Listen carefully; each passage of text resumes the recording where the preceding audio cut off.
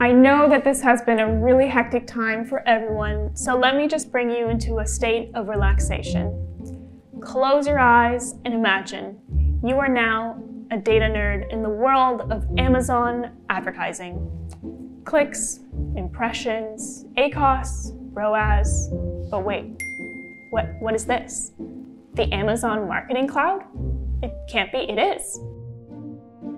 Does this mean I can track a user journey through event level data on and off of Amazon? It's true. Does this mean I can even track how many times I've served a certain DSP ad to a unique user and see which ad they actually converted with? That's incredible. And I'll be able to create custom metrics and be more efficient with my ad spend. And this is just the beginning. We can access the Amazon Marketing Cloud's flexible and privacy-friendly cloud-based environment to make more informed marketing decisions today. Let's dig in.